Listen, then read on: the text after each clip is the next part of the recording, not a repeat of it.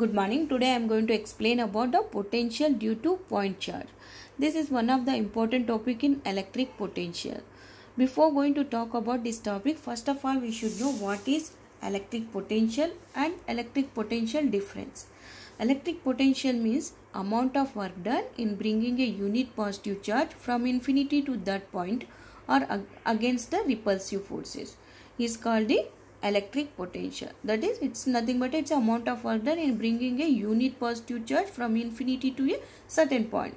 And this is the mathematical definition and this can be written this can be measured in joules per coulomb. Okay?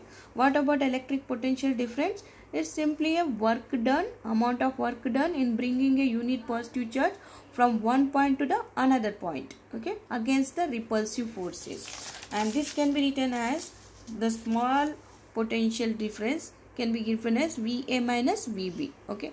So this is nothing but it's a amount of work done in bringing your unit positive from unit positive charge from one point to another point.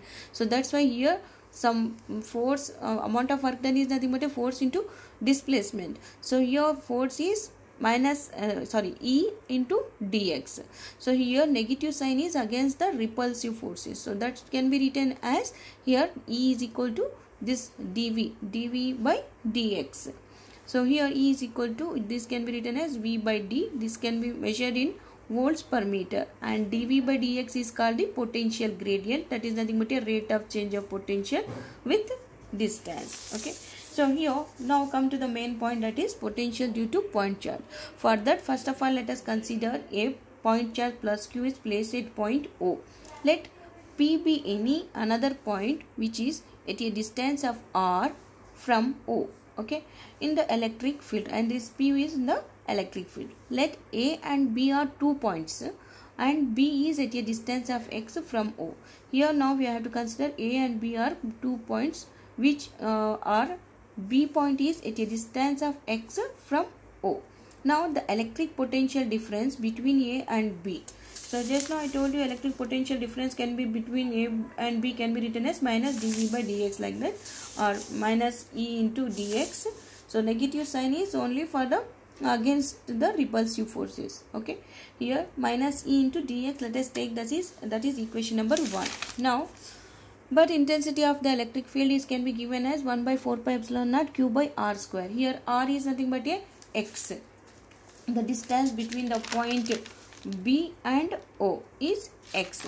So that's why let us take that is equation number 2.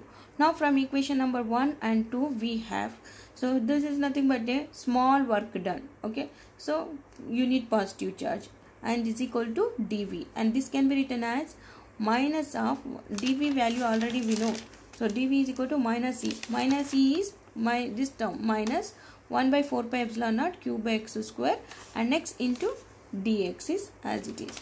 Next let us take that is equation number 3 now the total uh, the electric potential at a point p is given by by the definition from uh, at a point p is from infinity to a point particular point. In bringing a unit positive charge from infinity to a certain point. So by the definition i can write infinity to r. Okay? So that is integration of dv this value okay? And this can be written as v is equal to infinity to r minus 1 dv value is 1 by 4 pi epsilon naught q by x square into dx. And this can be written as if you take out this uh, or minus q by 4 pi epsilon naught minus sorry infinity to r 1 by x square into dx. And this can be written as integration of this term is minus 1 by x. Now when you substitute the limits then it becomes 1 by r minus 1 by infinity. So we know that 1 by infinity is 0 so that's why we can write the potential at point p due to the uh, plus q charges can be given as q by 4 pi epsilon naught into 1 by r.